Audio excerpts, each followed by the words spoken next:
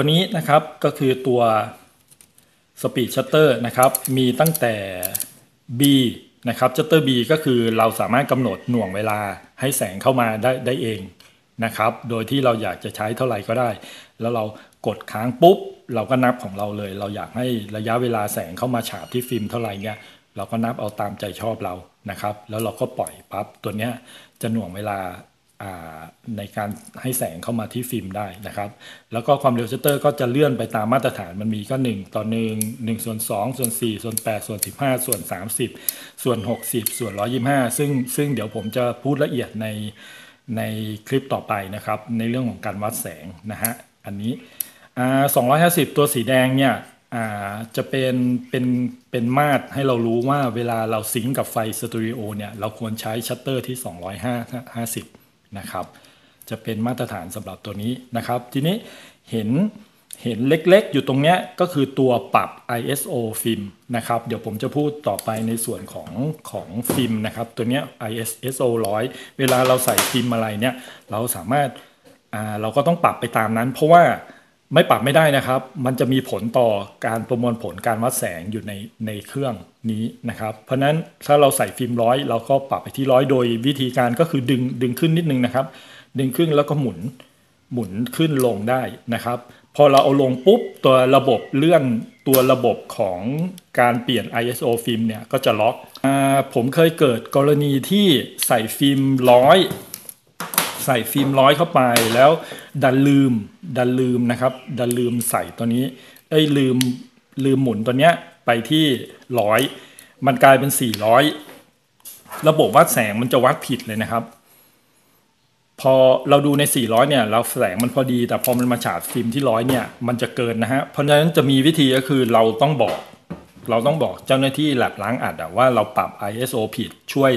ช่วยแก้ที่แลบให้เราหน่อย อันนี้ก็จะแก้ได้ในสมัยนั้นนะช่างช่างฟิล์มเขาเขาจะบอกกันอย่างนี้นะครับส่วนตัวต่อมานะครับก็จะเป็นหัวหัวซิงกับแฟดซึ่งเมาส์ตัวนี้จะไม่เหมือนกันนะครับ แต่ละยี่ห้อจะไม่เหมือนกันของนิคอนจะมี2 2 2จุด ของ Canon ก็จะเป็นอีกแบบหนึ่งเพราะนั้นแฟด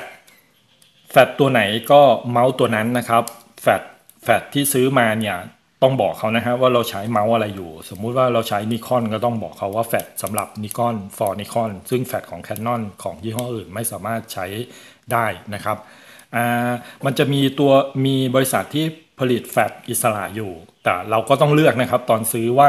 เราจะซื้อแฟดสำหรับมาใส่กล้องอะไร เพราะตัวเมาส์นี้จะไม่เหมือนกันนะครับนะฮะตัวนี้ตัวนี้ตัวใส่แฟดดันดันชึบเข้าไปตรงนี้นะครับ ก็จะเปิดซิงกันได้นะฮะ ส่วนต่อมาตัวนี้ ตัวนี้จะเป็นก้านหมุน หมุนฟิล์มนะครับ หมุนฟิล์มนะฮะทั้งกรอฟิล์มกลับ การกรอฟิล์มกลับ แล้วก็การเปิดเพื่อที่จะใส่ฟิล์มเข้าไปนะครับ ตัวนี้ขึ้นมาได้ พอเราถ่ายเสร็จปุ๊บเรา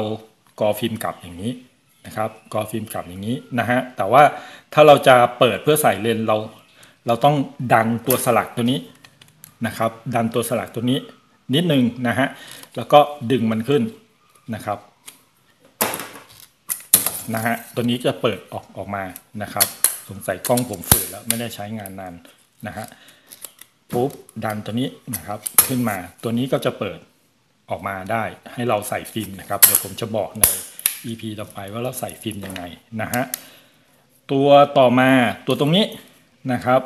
ตัวตัวเนี้ยฮะตัว ตัวเล็กๆ ตัวนี้นะครับ สามารถให้เราเห็นว่าเราถ่ายไปถึงรูปที่เท่าไรแล้ว เวลาเราขึ้นฟิล์มเนี่ยขึ้นเสร็จเรียบร้อยมันจะมีเลขหนึ่งฟิล์มหนึ่งม้วนจะถ่ายได้ 36 รูปนะฮะพอเราเห็นที่ 36 เราก็จะรู้แล้วฟิล์มเราหมด ฟิล์มเราหมดแสดงว่าหมดละเดี๋ยวต้องใส่ฟิล์มใหม่ โดยต้องการกรอกลับนะครับกรอกลับแล้วก็เอาฟิล์มไปล้างแล้วใส่ม้วนใหม่นะครับ ก็ดูตรงนี้ได้นะครับ ส่วนตัวตัวนี้ ตัวนี้นะครับตัวนี้ตัวนี้จะพิเศษอีกแล้วนะฮะที่ซื้อมาเพราะว่าชอบตัวนี้มาก ตัวนี้จะมีฟังก์ชันถ่ายภาพซ้อนได้ ปกติแล้วเนี่ยถ้ากล้องรุ่นอื่นนะครับที่ไม่มีระบบถ่ายภาพซ้อนเนี่ยเวลาเรากดชัตเตอร์ปุ๊บเนี่ยเราหมุนปั๊บไปตัวนี้ตัวตัวก้านฟิล์มเนี่ยมามันจะดึงฟิล์ม เพื่อที่จะให้ฟิล์มเนี่ย ไปพร้อมสำหรับการถ่ายรูปใหม่ แต่ว่าตัวกล้อง FM2 เนี่ยจะมีฟังก์ชันหนึ่งคือถ่ายภาพซ้อนได้คือเรากดปุ่มตัวนี้ลงนะฮะแต่ตอนนี้ผมผมไม่ได้ใส่ฟิล์มมาเลยกดไม่ไปพอเรากดลงปุ๊บเนี่ยเราสามารถเลื่อนเลื่อนเลื่อนไกฟิล์มเนี่ยฮะไอเลื่อนไกลไกลลั่นชัตเตอร์เนี่ยให้มันถ่ายซ้ำได้ มันก็สามารถถ่ายภาพภาพซ้อนได้ครับ ตัวนี้จะดีพิเศษหน่อยนะครับ ตัวนี้เป็นนกลไกดึงดึงฟิล์มดึงก้านเนี่ยให้มันกลับมาซ้ำอีกทีหนึ่งนะครับ ส่วนตัวเล็กๆ ตรงนี้คือตัวตัวขีดที่เรามาร์กนะฮะนะครับ อย่าหลงนะครับ บางคนมองไม่เห็นเนี่ยคิดคิดว่าตัวสีตัวสีแดงหรือตัวอะไรเนี่ยมันเป็นตัวมาร์กที่ตรงไม่ใช่นะฮะอย่างสมมติเรา 60เนี่ยเราต้องให้ตัวเลข 60 ตรงกับตัวตัวนี้นะครับ ตัวปุ่มขีดเล็ก ๆ ตรงนี้ฮะนะครับน้องๆที่ถ่ายใหม่สำคัญนะครับ เพราะว่าบางทีเราบอกเฮ้ยฉันเปิด หนูเปิด 30 แล้วค่ะทำไมมันยัง over เลย เพราะว่าอ้าวไม่ไม่ใช่ครับ นี่น้องเปิด 60 อยู่มัน under นะต้องเอาให้ให้มันตรงจริงๆนะครับ ตัวนี้สัญลักษณ์เล็กๆ ตัวนี้จะให้เรารู้ว่าตัวฟิล์มมันอยู่ด้านด้านไหนนะครับ ซึ่งซึ่งผมเองก็งงอยู่หลายหลายครั้งอยู่เหมือนกัน ว่ามันมีประโยชน์อะไรว่าตัวเนี้ยพอไปหาข้อมูลจริงๆเนี่ยไปแปลจากภาษาอังกฤษเนี่ยเขาเขาบอกให้รู้ว่าตัวตัวหน้าฟิล์มเราอยู่ตรงไหน นะครับโอเคนะครับ ต่อมาตัวหลังกล้องนะครับ จะมี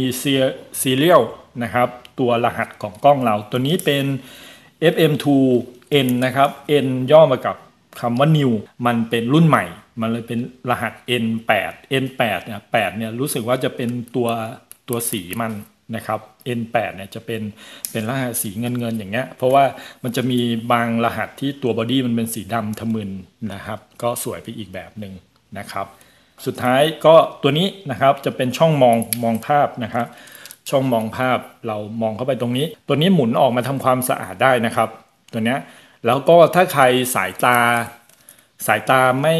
ไม่ปกติอะฮะสั้นไปหรือยาวไป เราสามารถซื้อตัวเนี้ยมาแทนแว่นได้คือมันจะหมุนเข้าไปเลย สมมุติว่าถ้าเราเราสั้น 120 เราสามารถซื้อตัวเลนเนี่ย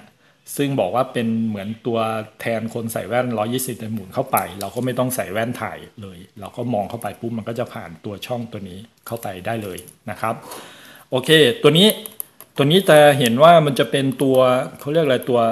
ตัวสี่เหลี่ยมแล้วสามารถใส่เข้าไปได้ก็คือ การไว้คือบางทีเวลาช่างภาพมืออาชีพเนี่ยเขามีกล้องอยู่หลายตัวบางทีเขาอาจจะหลงลืมว่าตัวไหนใส่ ใส่ฟิล์มอะไรไว้ เพราะนั้นเวลาเราใส่ฟิล์มเสร็จเนี่ยหางกักฟิล์มตรงกล่องนะฮะมันจะมีกระดาษหนึ่งช่างภาพก็จะนิยมคือฉีกนิดนึงแล้วก็มาใส่ตรงนี้ ใส่ชิปก็ตรงนี้ก็จะรู้ว่า เอ้ย ตัวนี้ใส่ฟิล์มอะไรอยู่วะอะไรเงี้ยจะได้ไม่หลงลืม เพราะบางทีบางทีเราช่างภาพมีหลายตัว มีกล้องหลายตัว แล้วก็ใส่ฟิล์มหลายหลายชนิด ฟิล์มร้อยฟิล์ม200 ฟิล์ม400 อะไรเงี้ยฮะต่อมานะครับ ด้านล่างของกล้องนะครับ ส่วนประกอบของมันก็จะมีอยู่ 1 2 3 4 5นะครับตัวนี้ตัวหมุนใส่ขาตั้งกล้องเนาะตัวเมาส์ใส่ขาตั้งกล้อง ส่วนตัวนี้นะครับเป็นใช้ต้องต้องใช้เหรียญบาทหมุนออกมานะครับเหรียญบาทหมุนออกมา ตัวนี้ทำงานด้วยระบบแมนนวลก็จริง แต่ว่าตัวระบบวัดแสงทำงานด้วยด้วยด้วยฐานนะครับ ตัวนี้หมุนหมุนออกมาได้นะฮะ หมุนออกมาได้ก็จะมี ก็จะมีฐานอยู่ 2 ก้อนใช้ทำงานกับเครื่องวัดแสงนะครับสังเกตนะครับ ถ้าไฟสีแดงใน Viewfinder ไม่ไม่ขึ้นก็แสดงว่าถ่านตัวนี้หมดก็ซื้อมาใส่ใหม่นะครับ ตัวเครื่องวัดแสงก็ทำงาน ใช้ได้นานมากรู้สึกเปลี่ยนทีน่าจะมัน 3 ปีครับ แล้วก็ตัว 2 ปุ่มนี้นะครับ จะเป็นปุ่มที่ทำงานต่อไปกับตัวมอเตอร์ไฟฟ้า ในการเลื่อนเลื่อนชัตเตอร์นะครับตัว 2 ตัวนี้นะครับเป็นตัวต่อเข้ามานะฮะตัวสุดท้ายที่เราจะใช้ใช้บ่อยกันที่สุดก็คือตัวกรอฟิล์มกลับนะครับ ต้องกดเวลาเราถ่ายรูปเสร็จแล้วเนี่ยอพอตัวนี้ขึ้นถึง3โมกแล้ว เราจะกรอฟิล์มกลับบางคนลืมนะครับ คือกรอเลยไม่ได้นะฮะเดี๋ยวฟิล์มขาด ถ้าเราจะกรอได้เราต้องกดปุ่มตัวนี้ลงนะครับ ตัวนี้กดลงไปคลิกหนึ่งนะครับ เราถึงสามารถเลื่อนเลื่อนฟิล์ม กลับได้นะครับ เวลาเลื่อนเนี่ยก็เอาเอาหูมาแนบตรงนี้นะครับ พอฟิล์มมันเข้าไปหมดเนี่ยมันจะดังซึบนิดหนึ่งตัวคนถ่ายรูปบ่อยๆ จะรู้กันว่าฟิล์มเข้ากลักหมดแล้วนะฮะเราก็สามารถถอดตัวนี้นะครับ ถอดตัวเนี้ยดึงฟิล์มออกมาได้นะครับ เคยเกิดกรณีนะฮะฟังเสียงไม่ชัดฟิล์มยังเข้าไม่หมดนะฮะตัวที่เราถ่ายไปก็เสียนะครับ เพราะฉะนั้นต้องฟังเสียงดีๆ มันจะ man manual นิดนึง นะครับ ก็ครบนะครับ EP นี้ผมมาแนะนำส่วนประกอบของกล้องนะฮะก็ถ้ามีคอมเมนต์อะไรก็คอมเมนต์มาใต้คลิปได้เลยนะครับนะครับ ยินดีปรับปรุงนะครับ ลองดูครับลองดูผมก็เพิ่งเคยทำคลิปแรกนะฮะเกี่ยวกับการใช้กล้องนะครับ พบกันใหม่ใน EP หน้านะครับ